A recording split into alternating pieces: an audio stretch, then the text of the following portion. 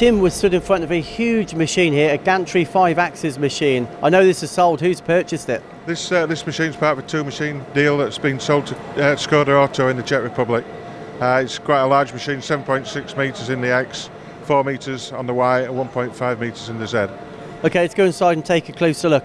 Obviously, two test pieces here on, on, the machine bed, which don't tell us a lot at this stage. But just look at the size of that gantry. Yeah, I mean it's a, it's a colossal machine. It's a three shear design, uh, rack and, twin rack and pinion, um, well twin motor and rack and pinion drive on the y-axis, twin balance system and twin ball screws on the z-axis. And I note there's two heads. Yeah, the machine it's, it's been uh, purchased to actually machine uh, the moulds and the, the floor pan uh, for the for the vehicles.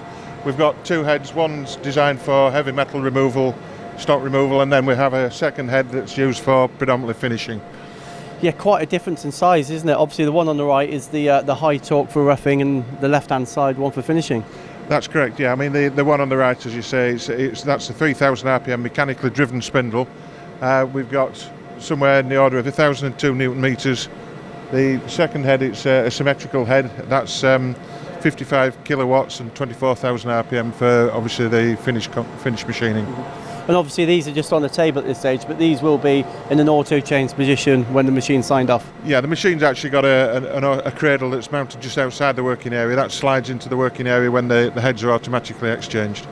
And TDT Machine Tools, you're the agent in the UK for Fidia and this style of machine. Is there a market for such a big machine?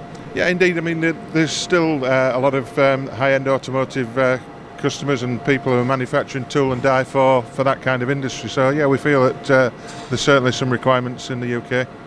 So if you are in the market for a machine of this size, why would you, you know, why would you talk to Fidia? Well, Fidia, they they can offer the complete solution from the CNC drives. Uh, they manufacture their own CNC, their own drives.